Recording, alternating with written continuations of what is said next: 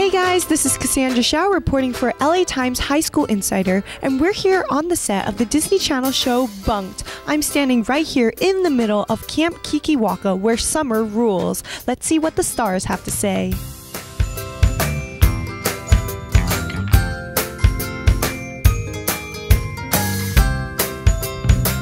So, what is something you've learned from your time at Jessie that you took and applied to your time here at Bunk'd?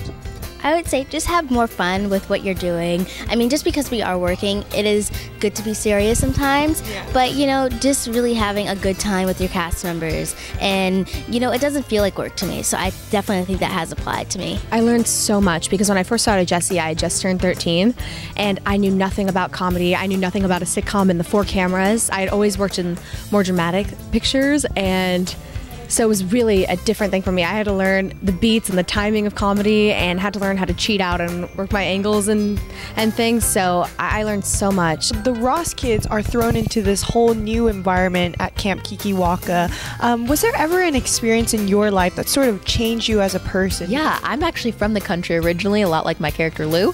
Um, so coming to LA when I was 10 was definitely different for me in a completely new environment. So I kind of get where they're coming from. You're like a fish out of water in this new place. I always loved it because I mean, when you're 10 and you're like in a big city, you're like, this is so cool and so fun and different. Um, but it's changed me a lot because it's made me more open minded to things that otherwise in a small town you might not be exposed to. And um, it's just been really great. I, I love the city. when I first moved, came out to LA for the show for for Jessie, my brothers and my dad were still living in New York, and so it was my mom and I, and we had to make a decision like, do we want to separate from the family for a little bit for me to be able to like live out my dream and be able to do that, and so that was probably a time for me that was really hard when I had to be without them and make a sacrifice. And my mom also, I felt bad having to take her away from my brothers and my dad for that bit of time. But then once Jessie got picked up and had become a success, we all moved out here and now we all live. What is the one thing you would like to cross off your summer adventure bucket list?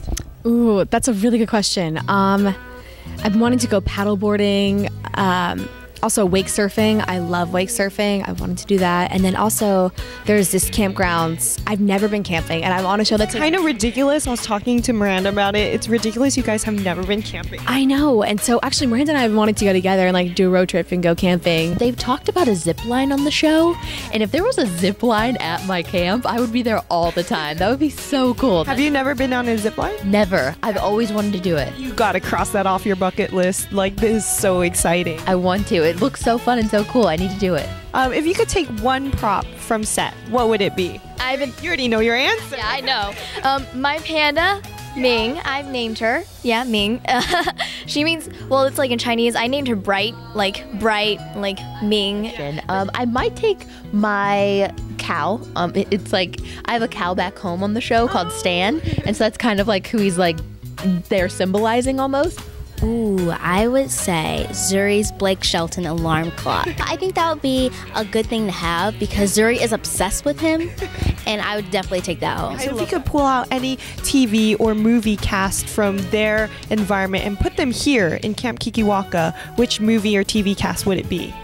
I would say I would pull the cast from The Breakfast Club and pull them here. I think it would just be really fun. That's one of my favorite movies. Actually, I would also pull the cast of Clueless because, yes, I love Clue. girl, like she's so used to being glammed up and her dad giving her everything. So to bring her in this environment, I think that would be very interesting. a little like Emma, you know, coming. Right. I think that's so funny. I love Clueless. I'm so glad you mentioned it. Watched it like the other night. It's my favorite movie. I have always loved the show Friends, so I would love to pull the Friends cast onto Bunk'd. That would be the most amazing thing ever. Do you know Doctor Who? Yeah. Yeah, okay, so ever since it came off Netflix, my heart was broken and still broken, but then I want it, I want the doctor to just fly in through his TARDIS and just like, what is this?